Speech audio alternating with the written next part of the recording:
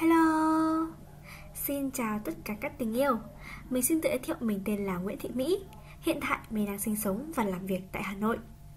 Hiện mình đang là sinh viên khóa 1 của trường đại học EDX Và mã số sinh viên của mình là CUV019HB20 Như thường lệ, hôm nay chúng ta cùng quay trở lại với những một trong những cái chủ đề rất là thú vị và quan trọng của bộ môn kế toán doanh nghiệp hôm nay sẽ có một chút thay đổi đó là hôm đó là việc mình hôm nay sẽ không phải là đàm phán trao đổi hay là nói về những cái chủ đề nó liên quan đến bài học nữa mà để củng cố và đi tìm sâu hơn những kiến thức nền tảng về những cái chi tiết trong doanh nghiệp và để giải quyết những cái vấn đề về con số thì chúng ta hãy cùng đi đến một cái quyển sách có tên là các chỉ số cốt yếu trong quản lý, giải thích cụ thể các chỉ số tài chính trọng yếu giúp quản lý và điều hành doanh nghiệp. Ok, và hôm nay chúng ta hãy cùng nhau đi đến khoảng 100 trang để các bạn có thể hiểu rõ nhất. Ok, let's get it.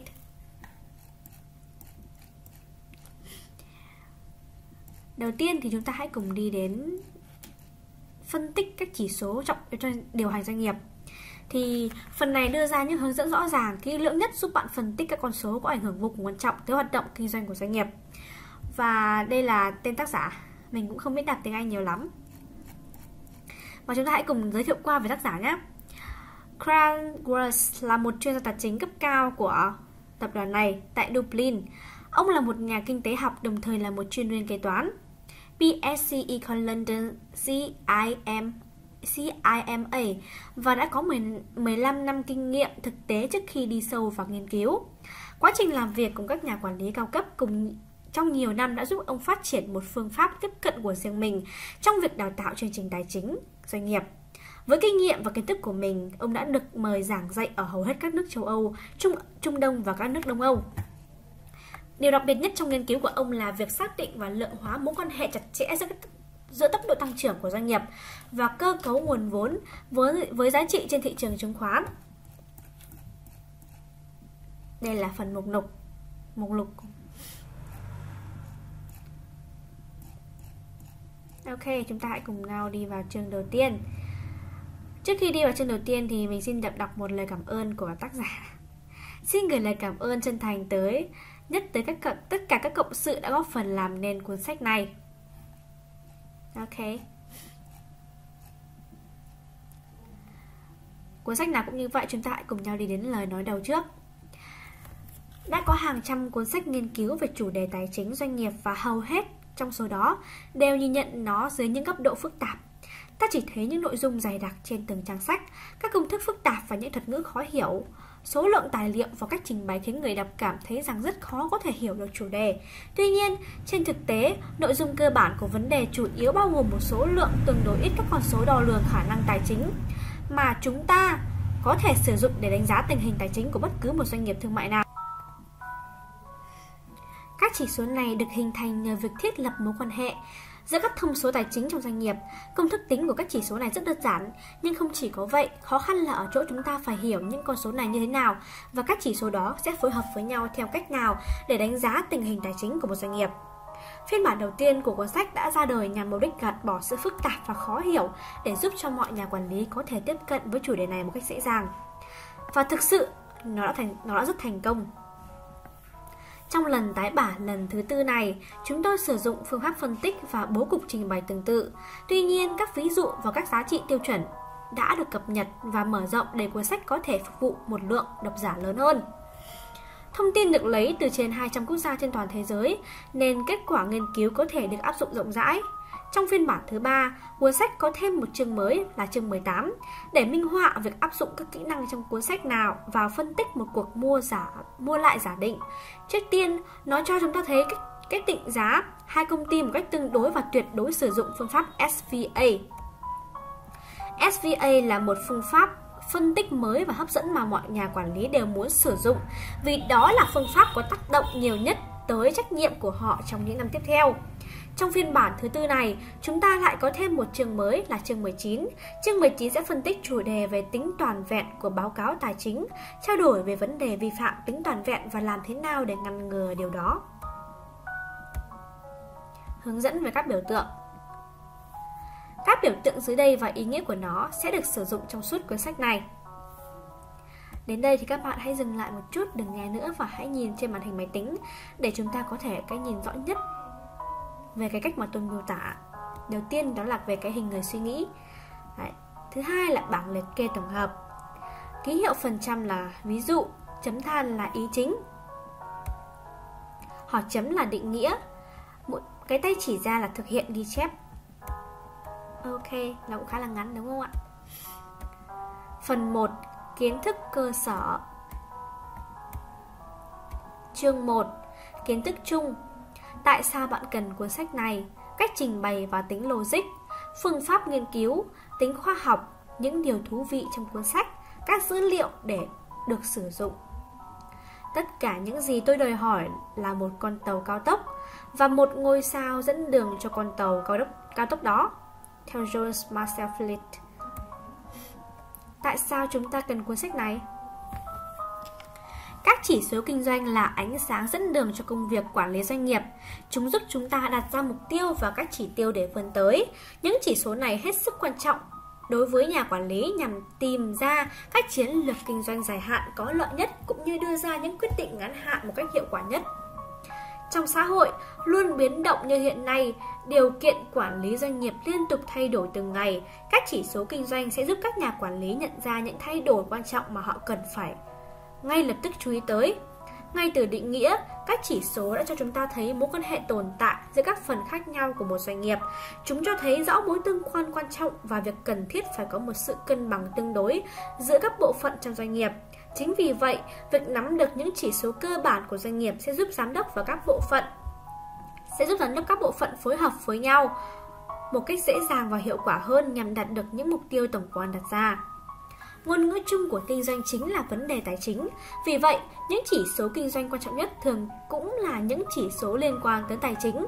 Một nhà quản lý sẽ hiểu được rằng các chỉ số tài chính chẳng qua chỉ là sự phản ánh của những gì đang diễn ra trong doanh nghiệp và để thay đổi thì cần phải thay đổi tình hình thực tế của doanh nghiệp chứ không phải điều chỉnh các chỉ số. Cách trình bày và tính logic Cuốn sách này không giống với hầu hết các cuốn sách về kinh doanh khác. Bạn sẽ nhận thấy sự khác biệt trong từng trang sách. Nó không chỉ đơn giản là những dòng chữ được ghi lại trên giấy, một cuốn sách hay phải được thể hiện qua nội dung và cách thức minh họa. Sẽ thật khó khăn và mệt mỏi để cố gắng nhồi nhét một vấn đề phức tạp chỉ bằng cách đọc xuông từng dòng chữ. Bạn cần phải tập trung thật cao độ và cố gắng tải một lượng, một khối lượng khổng lồ thông tin vào bộ nhớ của mình. Phải có một sự kiên nhẫn tuyệt vời để có thể đọc đến cuối cùng và tìm ra những điểm nhấn quan trọng. Điều đó đòi hỏi rất nhiều thời gian và mà đối với một nhà quản lý bận rộn thì khó mà có thể thực hiện được. Mặt khác, biểu đồ và hình ảnh minh họa lại mang lại những tác dụng to lớn, giúp chúng ta hiểu vấn đề dễ dàng hơn và có thể nhớ lâu hơn. Chúng giảm tải khối lượng thông tin và đẩy nhanh quá trình thẩm thấu kiến thức vào bộ não con người. Không chỉ có vậy, để có thể trình bày dễ hiểu và xúc tích thì cần phải lựa chọn những biểu đồ hình ảnh minh họa hiệu quả nhất. Một thế giới vô cùng phức tạp như hiện nay đòi hỏi các nhà quản lý phải chấp nhận ngày càng nhiều những quy luật của xã hội. Họ cần phải nắm bắt một khối lượng thông tin lớn nhất một cách nhanh chóng. Chính vì vậy, họ cần có một phương pháp tiếp cận tiếp cận hiệu quả nhất, đó tính đó chính là tính logic thể hiện trong cách trình bày của cuốn sách này.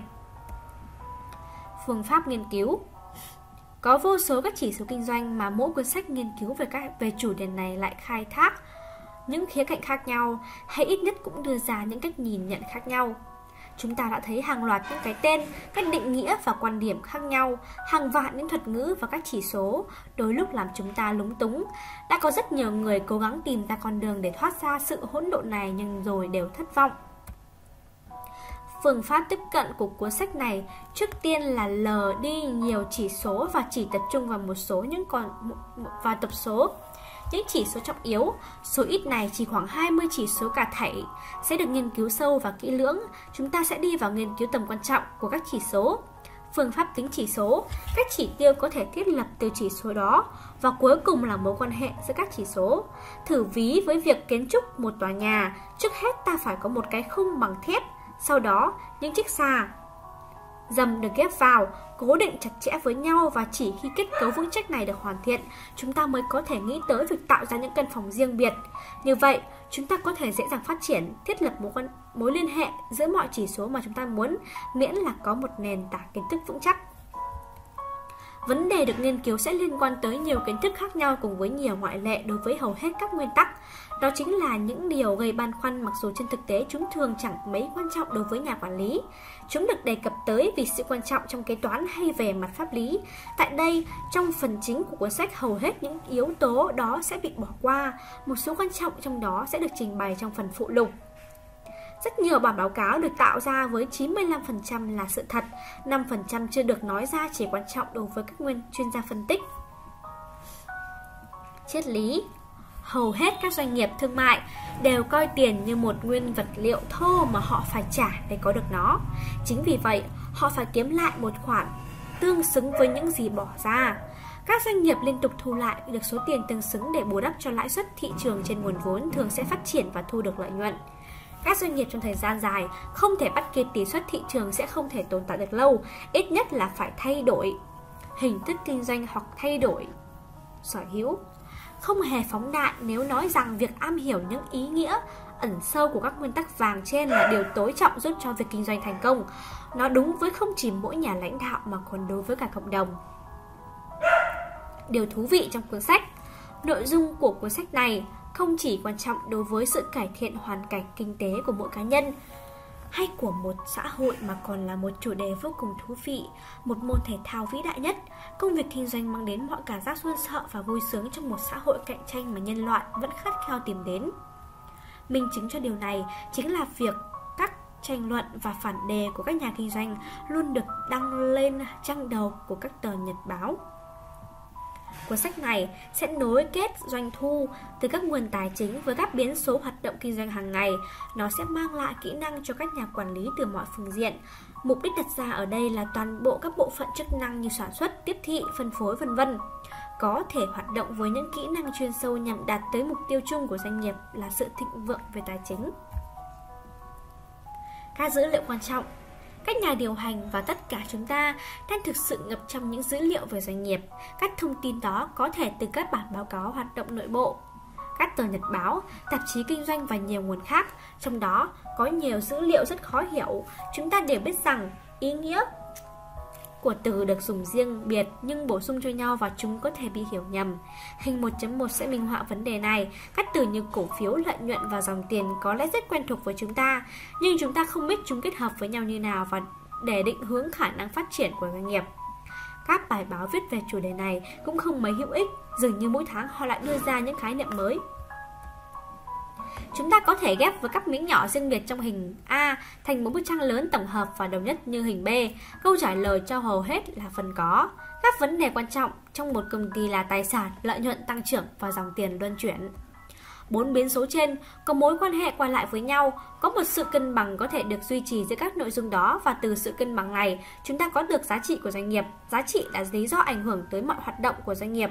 Và vì lý do này, cuốn sách sẽ tập trung vào phần phân tích các chỉ số xác định giá trị doanh nghiệp.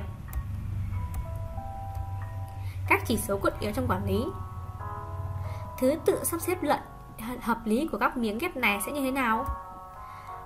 Ờ. Các bạn có thể dừng lại và xem video để biết được các hình ảnh này ở trong doanh nghiệp sẽ được thiết kế như nào nhé. Ok. Chương 2 Báo cáo tài chính Giới thiệu bảng cân đối kế toán Cấu trúc bảng, kế, bảng cân đối kế toán tài sản cố định Cấu trúc của bảng cân đối kế toán công nợ Và cuối cùng là tổng hợp Kinh doanh là một nghề đòi hỏi nhiều hoạt động thực tiễn cũng như kiến thức và nhiều kỹ năng như trong lĩnh vực pháp lý và y học và đồng thời cũng đòi hỏi cần có nhiều tiền. Theo Walter Bahart, giới thiệu để có một cái nhìn chính xác về tình hình hoạt động của một công ty. Trước hết chúng ta cần có hiểu biết về các phần trong công ty đó. Công việc này không quá khó như thoạt, như thoạt nhìn bởi là người quản lý bạn quan tâm đến rất nhiều mặt của một công ty nên đều đã nắm bắt được hầu hết mọi vấn đề. Trong số hàng trăm phần hợp thành của một công ty thì chỉ một vài thành phần trong số đó là quan trọng. Và tuy rằng chủ đề này có phần phức tạp nhưng nó dựa trên những logic thông thường, do đó có thể suy luận mở rộng một khi chúng ta đã nắm được những nguyên tắc cơ bản. cách sử dụng từ ngữ cũng gây ra không ít khó khăn. Có rất nhiều biệt ngữ thường được dùng trong lĩnh vực tài chính, mặc dù có ưu điểm diễn tả ý một cách ngắn gọn và chính xác, nhưng biệt ngữ sẽ gây ra một rào cản lớn cho những người không chuyên khi tiếp cận với mỗi chủ đề. Tôi muốn bạn đọc tự nhìn nhận mục đích sử dụng của biệt ngữ chuyên ngành tài chính, nhưng một trong những mục tiêu chính ở đây là để chỉ ra những suy luận và logic thông thường ẩn sau cái vỏ ngoài phức tạp của nó. Điều đầu tiên mà chúng ta cần phải ghi nhớ trong giai đoạn này là trong tài chính có 3 và chỉ 3 bản báo cáo mà chúng ta có thể lấy thông tin cơ sở trong nghiên cứu. Đó là thứ nhất, bảng cân đối kế toán, bảng báo cáo kết quả hoạt động kinh doanh và báo cáo lưu chuyển tiền tệ. Các báo cáo này cùng với những nguyên lý cơ bản liên quan sẽ được trình bày chi tiết dưới đây. Bảng cân đối kế toán Balance sheet B trên S Bảng cân đối kế toán có thể được xem như hình ảnh một cỗ máy với khối lượng nhất định vận động để tạo ra năng lượng. Dưới dạng lợi nhuận, hẳn chúng ta vẫn còn nhớ khái niệm về năng lượng trọng lượng đã được học từ trong trường phổ thông. Đó là một phép suy luận có thể áp dụng để minh họa cho việc tạo ra mức lợi nhuận tối thiểu của một bảng cân đối kế toán với một lượng tài sản nhất định hoạt động hiệu quả. Vậy, thế nào là một bảng cân đối kế toán? Nó đơn giản chỉ là bảng tổng hợp về các loại tài sản được sử dụng trong doanh nghiệp và các nguồn vốn tạo nên các tài sản đó. Bảng cân đối kế toán liệt kê số liệu thống kê tại một mốc thời điểm xác định. Chính vì vậy, hãy xem nó như một bức ảnh chụp nhanh tại một thời điểm cố định như các tháng, quý, năm để thấy được sự thay đổi của tài sản và nguồn vốn theo thời gian. Bảng báo cáo kết quả hoạt động kinh doanh P trên L Báo cáo kết quả hoạt động kinh doanh dùng để xác định kết quả lãi hoặc lỗ từ những hoạt động kinh doanh thông thường và các hoạt động khác trong một khoảng thời gian nhất định. Để xác định lãi lỗ, người ta sẽ lấy tổng thu nhập trừ đi tổng chi phí. Cả thu nhập và chi phí đều được tính toán theo những nguyên tắc kế toán nghiêm ngặt. Hầu hết các nguyên tắc kế toán này đều rất rõ ràng và không có gì phải bàn cãi, nhưng cũng có một số ít nguyên tắc không được như vậy. Tuy được phát triển từ những lý thuyết nhất toán Tuy được phát triển từ những lý thuyết nhất quán, nhưng trên thực tế, đôi khi các nguyên tắc này vẫn tạo ra những kết quả không chính xác. Các nguyên tắc kế toán vẫn luôn được xem xét, cân nhắc và chỉnh sửa cho phù hợp với công việc kế toán hiện nay. Có rất nhiều những thay đổi căn bản đang được thực hiện như việc xem xét các định nghĩa của một số vấn đề như lưu chuyển tiền, công ty con, vân vân. Báo cáo lưu chuyển tiền tệ cash flow Báo cáo lưu chuyển tiền tệ là một báo cáo hết sức quan trọng. Dòng tiền lưu chuyển vào doanh nghiệp khi được khi xét được thu nhận và đi ra khi doanh nghiệp ký xét, phát xét. Tuy nhiên, vấn đề cốt lõi chính là nắm bắt được những yếu tố gây ra dòng lưu chuyển đó của tiền tệ. Kết luận, các báo cáo trên không thể đứng tách riêng biệt độc lập mà được liên kết với nhau trong một hệ thống như được trình bày trong hình 2.1. Chúng cung cấp một bức tranh hoàn toàn cảnh về tình hình tài chính của một doanh nghiệp. Sau đây, chúng ta sẽ đi vào xem xét lần lượt từng báo cáo một cách chi tiết. Hệ thống tài khoản đầy đủ bao gồm A. Bảng báo cáo, bảng cân đối kế toán đầu kỳ B bảng cân đối kế toán cuối kỳ. C. Báo cáo kết quả hoạt động kinh doanh. Và D.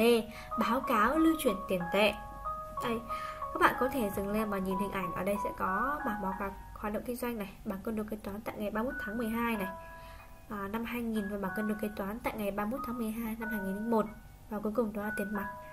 Những cái vị trí ở trong hệ thống tài khoản đầy đủ. Bảng cân đối kế toán Bảng cân đối kế toán là một bảng tổng hợp các tài sản của công ty tại một thời điểm cụ thể. Ví dụ như lại Ví dụ như tại 12 giờ đêm ngày 31 tháng 12 năm 2000, các bảng tổng hợp này sẽ được lập sau những khoảng thời gian nhất định. Sau mỗi khoảng thời gian tổng các phần trên, bảng cân đối kế toán sẽ thay đổi, phân tích sự thay đổi đó cho chúng ta những thông tin vô cùng quan trọng để giải đáp những thắc mắc về các hoạt động của công ty sau một thời gian nào đó báo cáo kết quả hoạt động kinh doanh. Báo cáo kết quả hoạt động kinh doanh xác định và giải thích tình trạng lãi hay lỗ của công ty trong khoảng thời gian giới hạn bởi hai bảng cân đối kế toán đầu kỳ và cuối kỳ. Nó được lập thành từ một số số liệu lấy ra từ hai bảng cân đối kế toán. Chính vì vậy, báo cáo kết quả hoạt động kinh doanh và bảng cân đối kế toán có quan hệ chặt chẽ với nhau, không thể thay đổi số liệu ở trong báo cáo kết quả hoạt động kinh doanh mà không có điều chỉnh trong bảng cân đối kế toán. Như vậy, bảng cân đối kế toán và báo cáo kết quả hoạt động kinh doanh có tính chất hỗ trợ lẫn nhau. Báo cáo lưu chuyển tiền tệ Báo cáo lưu chuyển tiền tệ phụ thuộc vào hai bảng cân đối kế toán và báo cáo kết quả hoạt động kinh doanh nó liên kết các yếu tố quan trọng của ba báo cáo trên. Vì vậy, mặc dù báo cáo lưu chuyển tiền tệ mang tính thời điểm cao nhất, nhưng hiện nay và một số quý nhất định nó được coi là báo cáo quan trọng nhất. Bảng cân đối kế toán Bảng cân đối kế toán là một tài liệu cơ bản trong các báo cáo tài chính. Thông thường, nó thường được trình bày như trong hình 2.2, bao gồm hai cột được đặt tên lần lượt là công nợ và tài sản. Chú ý rằng từng nguồn vốn thường được đi kèm hoặc thay thế cho từ công nợ. Hiện nay, cách trình bày được sử dụng nhiều lại là cách trình bày theo một cột duy nhất. Xem trong hình 5.3. Cách trình bày mới này có một số ưu điểm nhưng nó gây khó khăn đối với những người mới tiếp cận khi tìm hiểu tính logic hay kết cấu của bản báo cáo. Chính vì lý do đó mà trong cuốn sách này chúng tôi chọn sử dụng cách trình bày theo hai cột.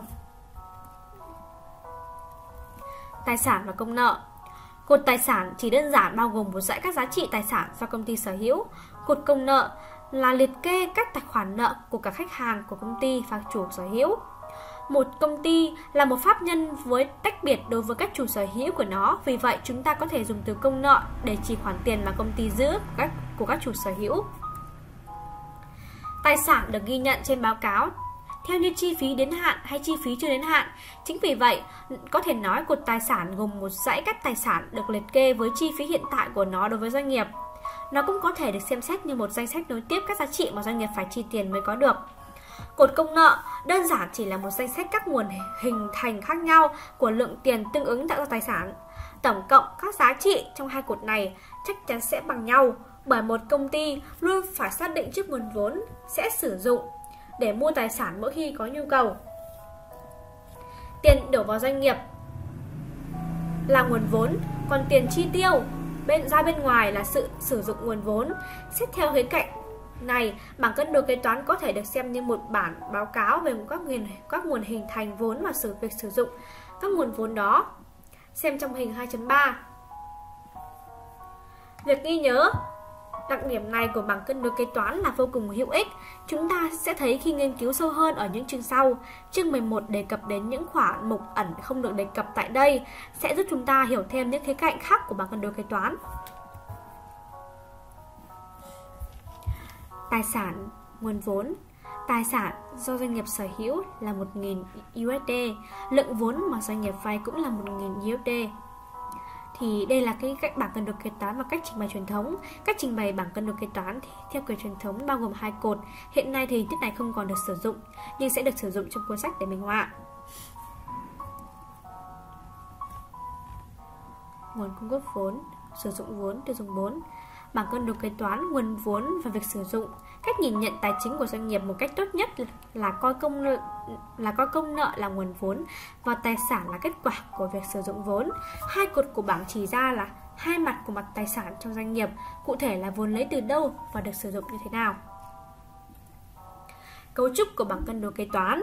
Hình 2.4 cho thấy bảng cân đối kế toán được chia thành 5 phần chính tương ứng với 5 ô khác nhau. Chính các phần này chứa tất cả các khoản tạo nên một bảng cân đối kế toán. Hai trong số các ô đó thuộc phần tài sản, ba ô còn lại thuộc phần công nợ. Chúng ta sẽ quay lại với bảng báo cáo gồm 5 phần này và lần lượt đi vào xem xét từng ô trong đó. Trước tiên, chúng ta xem xét hai ô trong phần tài sản với tên gọi lần lượt là tài sản cố định, Fixed assets FA, tài sản lưu động, Current Assets CA. Hai ô này còn có thể được gọi là tài sản dài hạn và tài sản ngắn hạn. Chúng ta sẽ phân tích xem tại sao sự phân biệt này lại quan trọng đối với tài sản, thậm chí còn quan trọng hơn nhiều trong mục nguồn vốn. Tài sản lưu động CA nằm ở góc Tây, Nam của bảng. Tài sản lưu động bao gồm các tài sản ngắn hạn của công ty. Ngắn hạn ở đây có nghĩa là chúng thường được di chuyển đổi thành tiền trong một thời gian ngắn, cụ thể là trong vòng 12 tháng. Các khoản mục thuộc ô này thuộc nhóm vào thành 4 năm chính: hàng tồn kho, hàng lưu trong kho, hàng lưu trong kho, khoản phải thu của khách hàng, tiền mặt và tập hợp các tài sản lưu động khác. Các khoản mục này xem trong hình 2.5 nằm trong những là vòng lưu chuyển cố định. Hàng tồn kho là nguyên vật liệu là nguyên vật liệu sẽ các trình bày cơ bản gồm 5 ô của bảng cân đối kế toán. À, các bạn có thể um, nhìn vào đây nhé. Có 5 phần cơ bản trong một bảng cân đối kế toán như hình bên.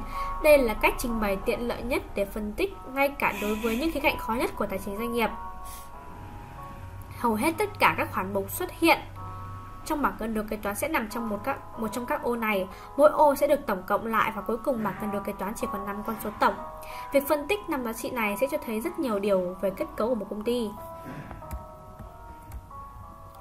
Xác định giá trị tài sản. Vấn đề định giá tài sản là một trong những vấn đề quan trọng nhất. Nó cũng có thể trở thành vấn đề gây tranh cãi nhiều nhất. Các tài sản ngắn hạn. Một Hàng tồn kho.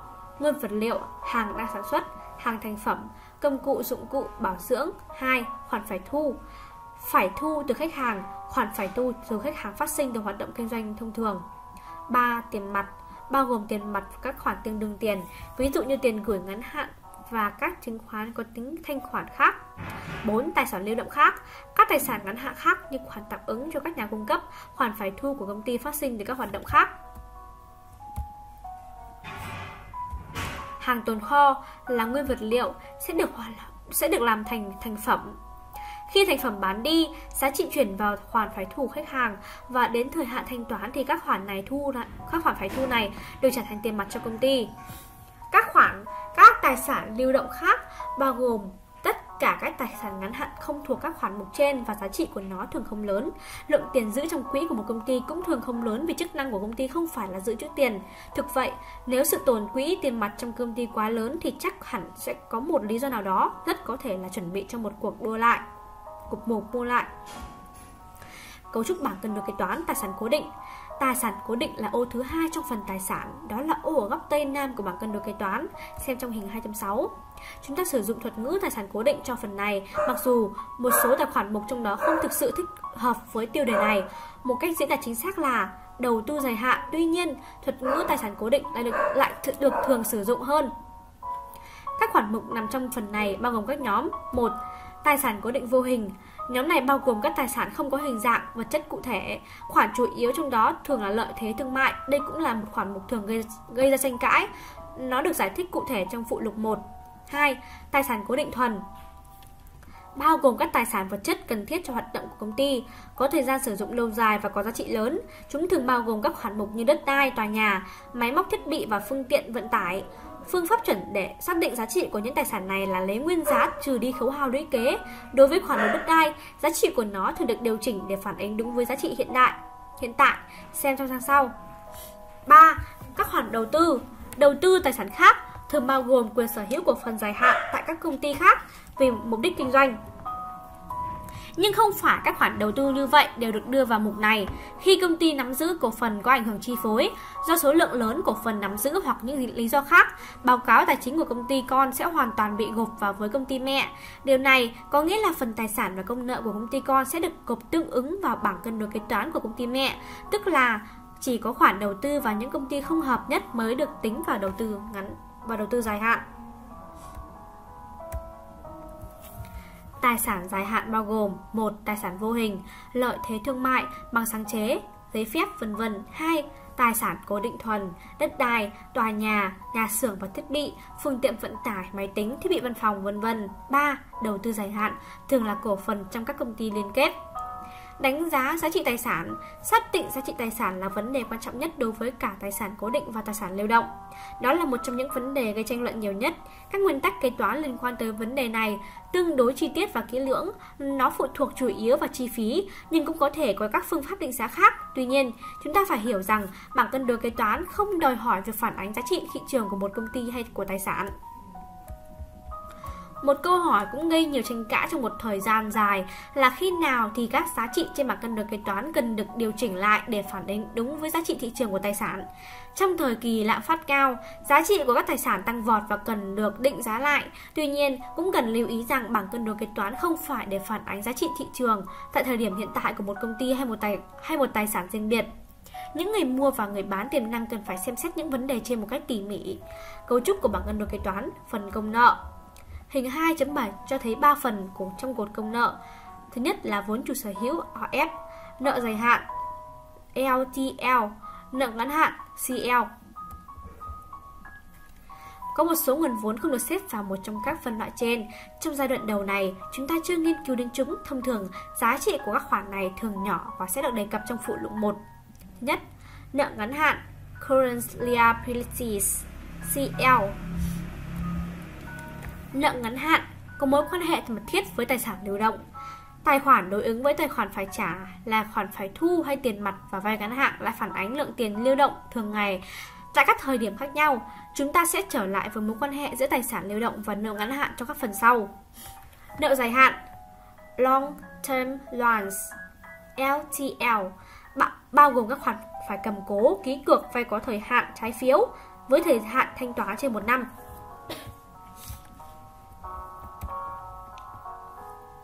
Đây các bạn hình thấy ạ. Các khoản nợ ngắn hạn, thời hạn thanh toán trong vòng 1 năm. một Khoản phải trả người cho vay. Đây là khoản phát sinh từ hoạt động kinh doanh thường ngày mà người mua hàng phải trả cho nhà cung cấp.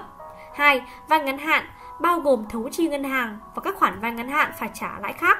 3. Nợ ngắn hạn khác bao gồm các khoản nợ ngắn hạn khác như chi phí phải trả, lãi vay, thuế và cổ tức đến hạn trả. Các khoản nợ dài hạn, thời hạn trên một năm, cầm cố ký cược vay có thời hạn trái phiếu.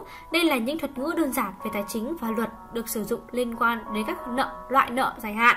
Các nhà quản lý không cần thiết phải phân biệt giữa các khoản này, tuy nhiên chúng thường được phân biệt như một trung hạn 3 đến 5 năm và dài hạn trên 5 năm và dưới 20 năm. Nguồn vốn chủ sở hữu Owner Fund OF OF đây là phần thú vị nhất trong bảng cân đối kế toán. Nó đại diện cho toàn bộ quyền lợi của chủ sở hữu đối với doanh nghiệp. Đây chính đây chính là phần tạo nên vận may hay rủi ro, là nơi ra các doanh nhân thể hiện kỹ năng sành sỏi nhất và kinh nghiệm của mình. Cũng là nơi mà các cuộc chiến giành quyền lực diễn ra không ngừng. Đó cũng chính là nơi các kỹ sư tài chính đưa ra những kế hoạch mới để mang lại những khoản thu lớn đền đáp cho sự dám nghĩ dám làm. Nhưng đáng tiếc thay, đó cũng là đó cũng chính là phần chứa nhiều những bút toán không rõ ràng xuất hiện trên bảng cân đối kế toán. Đối với những người mới bắt đầu nghiên cứu, lưu ý rằng cần quan tâm tới số tổng của phần này chứ không cần quá để ý tới những bút toán chi tiết khác nhau. Chúng ta sẽ nghiên cứu sâu về vấn đề này trong chương 12. Cũng cần lưu ý rằng chúng ta đang nghiên cứu tập trung vào loại hình công ty cổ phần, nhưng những gì đã được đề cập ở trên cũng có thể áp dụng bình thường cho các công ty chưa cổ phần. Quy luật của trò chơi đối với cả hai là như nhau. Ba bộ phận chính được minh họa trong hình 2.8 bao gồm cổ phiếu phổ thông được phát hành, vốn dự trữ và lợi nhuận giữ lại, một cổ phiếu phổ thông. Việc phát hành cổ phiếu phổ thông để nhằm thu hút một lượng tiền lớn vào doanh nghiệp là một pháp chính làm tăng vốn chủ sở hữu của doanh nghiệp. Có 3 giá trị thường đi kèm với cổ phiếu phổ thông. Một là mệnh giá cổ phiếu, hai là giá trị ghi sổ, ba là thị giá cổ phiếu. Chúng sẽ được nghiên cứu chi tiết trong chương 12. Các chỉ số quận yếu trong quản lý, Đây là phần thặng dư vốn.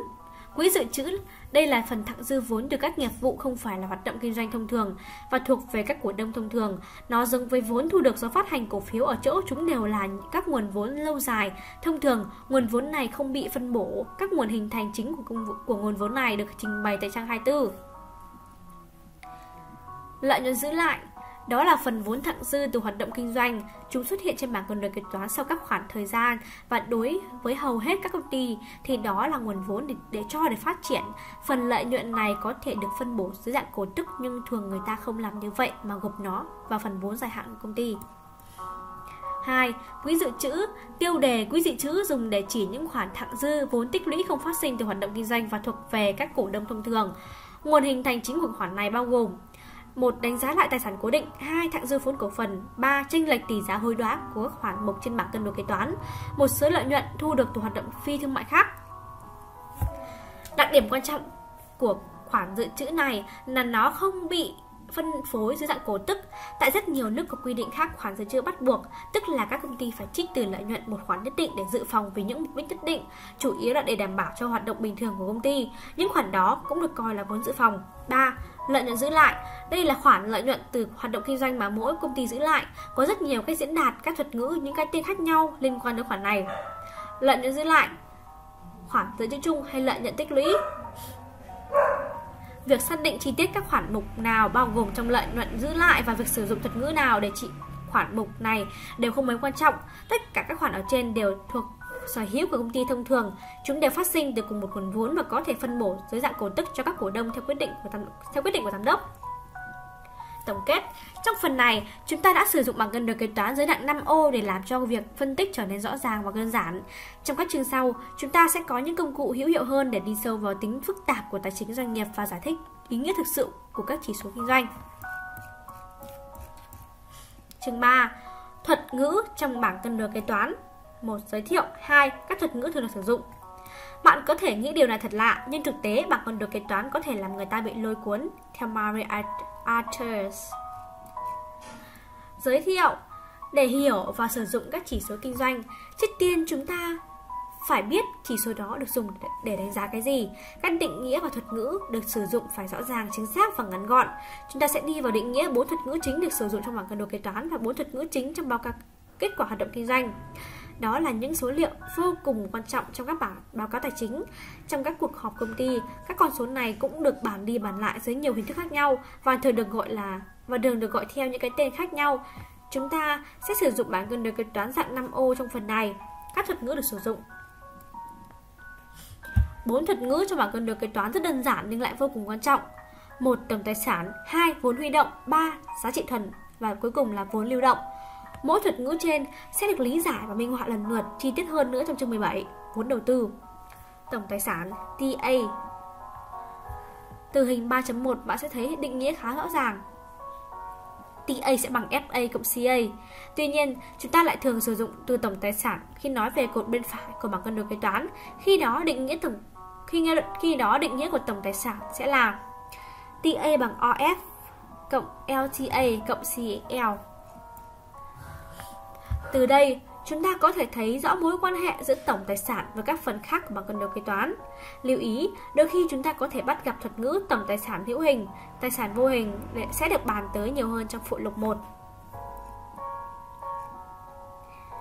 Tổng tài sản TA, giá trị tổng tài sản 1.000 đô la Mỹ có thể được tính theo hai cách bằng FA cộng CA hay bằng OF cộng LTL cộng CL. Cụm tài sản là thuật ngữ thường xuyên được sử dụng. Nói một cách đơn giản, nó là tổng của tất cả các giá trị từ trên xuống dưới của trong một cột của của một bảng cân đối kế toán và dù chúng ta cộng ở cột bên trái hay bên phải của bảng này thì giá trị thu được cũng như nhau. Đôi khi, chúng ta sử dụng thuật ngữ này khi xem xét tới phần tài sản hoặc tới nguồn vốn của doanh nghiệp. Trong cả hai trường hợp, chúng ta đều sử dụng thuật ngữ tổng tài sản. Vốn huy động CE đây là thuật ngữ quan trọng thứ hai trong bảng cân đối kế toán và nó cũng được sử dụng rất rộng rãi. Hầu hết các cuốn sách viết về tài chính đều đưa ra định nghĩa về vốn huy động như dưới đây.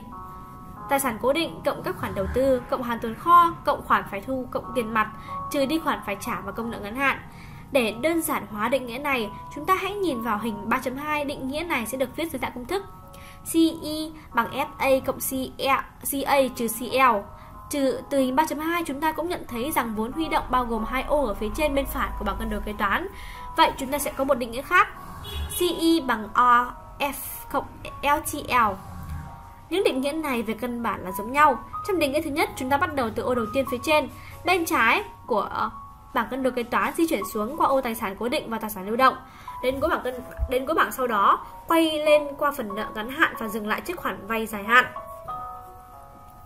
Trong trường hợp thứ hai, chúng ta bắt đầu từ ô đầu tiên phía trên bên phải của bảng cân đối kế toán và di chuyển xuống dưới qua bộ qua vốn chủ sở hữu và khoản vay dài hạn. Trong cả hai cách định nghĩa trên, chúng ta có thể thấy rằng điểm khác biệt giữa tổng tài sản và vốn huy động là công thức tính vốn huy động đều không tính đến khoản nợ ngắn hạn. Vì vậy, vốn huy động chỉ bao gồm phần vốn và công nợ dài hạn trong bảng cân đối kế toán.